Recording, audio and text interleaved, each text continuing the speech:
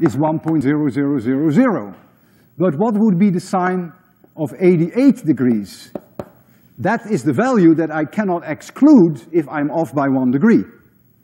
And that value is 0.999. That is so close to one that it is only off by 0.06%.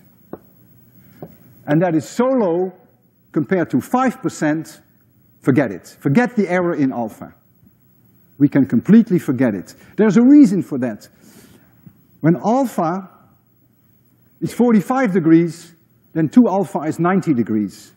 And the sine curve goes like this at 90 degrees. It's almost flat here.